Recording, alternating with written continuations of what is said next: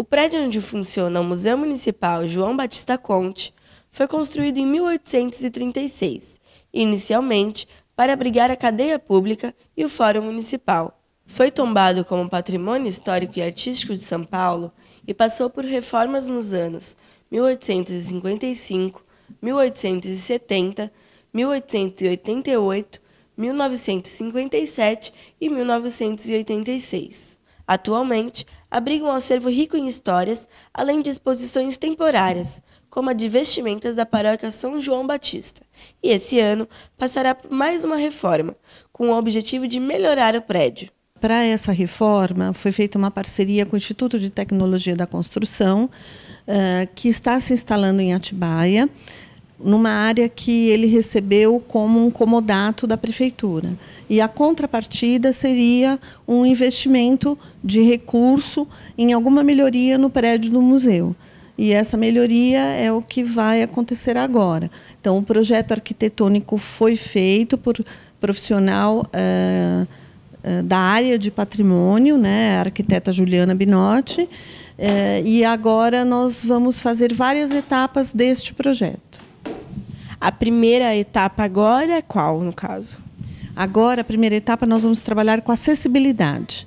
Uh, então, vamos uh, instalar um elevador para as pessoas que têm problema de mobilidade se locomoverem para o andar superior e também as, as pessoas que têm problema de visão com o piso tátil e todas as informações adequadas para esse tipo de acessibilidade. Também a construção dos sanitários adaptados que hoje a gente não tem. Nossos sanitários são pequenos e não são adaptados. Além dessa acessibilidade, o ITEC também vai a, ajudar na montagem da nossa reserva técnica, que é um espaço que o museu tem hoje, mas é muito pequeno, muito restrito, não é muito adequado.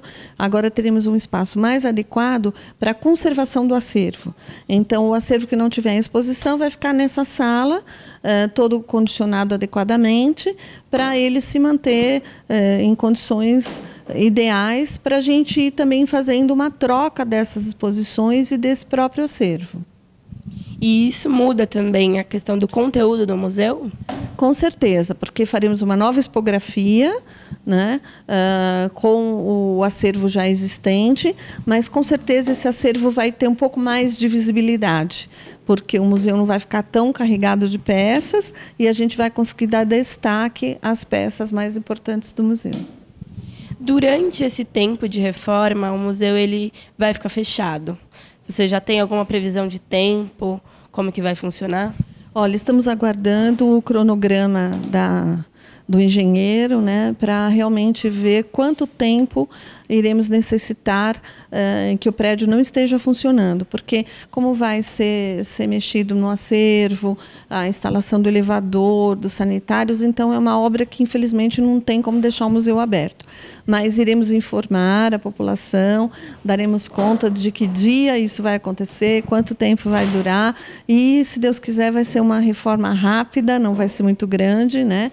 Essa primeira etapa e o mais rápido possível a gente vai abrir as portas novamente do prédio para que as pessoas nos visitem.